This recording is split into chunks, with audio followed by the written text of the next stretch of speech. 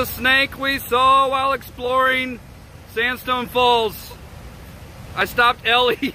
Oh gosh, it's getting longer. Oh no, Jesus, take the wheel. Oh my gosh, it's so long.